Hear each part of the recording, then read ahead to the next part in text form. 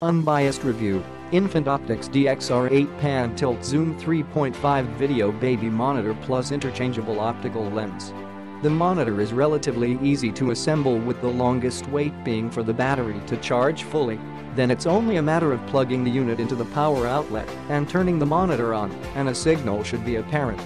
It's then only a matter of familiarizing yourself with the menu features, how to get started and running a few tests. If you have a double-story house or a massive single-story home it will pay to run a few tests to establish clarity and audio, that way you will have a firm idea of coverage and fade out.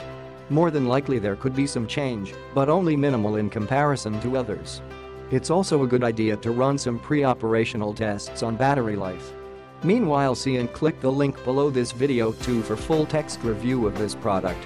There's nothing worse than the battery dying in the middle of the night because that is one of the most critical times you will want to be monitoring. Try both power saving mode and full screen.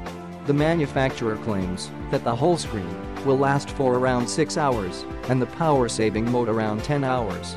Click the link in the description to get this product today at the best price.